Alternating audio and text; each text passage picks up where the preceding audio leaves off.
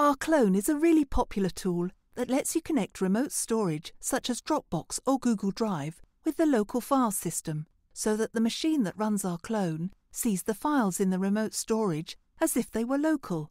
This is really useful as it lets you keep your files in the cloud where you might have a better connection, more storage, or any other advantage that is convenient to you.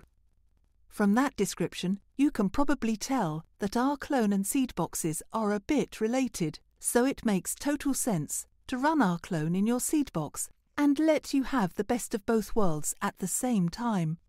A problem with rclone, at least until now, is that configuration is a bit tricky. It's a command line based tool. It doesn't have a web interface, and in general, managing it requires some expertise. Here at Xirvik, one of our primary goals is to bring the best tools to everyone, regardless of experience level. We want our seed boxes to be easy to use and enjoy, and we make it our business to make, build whatever is missing from the ecosystem in order to achieve that goal. For rclone, that missing piece is a simple to use web interface that lets you use rclone without having to edit configuration files yourself using the Linux terminal or caring about complex commands and parameters. To connect rclone to your Xirvik seed box, you just have to do two steps. Add your remote system to the seed box and mount it. Let's go over both steps. To add it, select Remote Config in the dashboard left side menu. Then click on Create. Select the remote type. For this demo, we're going to use Google Drive. The name here is just informational to yourself. We'll use G Drive Tutorial, but it could be anything descriptive. Then we click on the G Drive link. Authorize the seed box to access our files in Google Drive to obtain a verification code and paste that code in the dashboard form.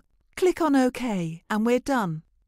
Once we have the remote, we have to mount it. Mounting means that we're linking it to a specific folder in the seed box, so going to that location will show the contents of the remote as if the files were inside the mount folder. Go to rclone mount in the dashboard and fill the three fields. The remote name is just what we typed in the previous screen. We just have one, so we select it. The remote path is the folder in the remote that we want to connect to the seed box.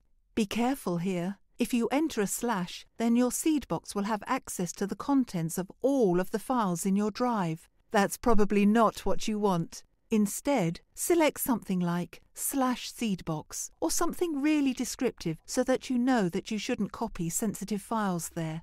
Finally, select the mount point. That's the name of the folder in the seed box that will be linked to the remote system.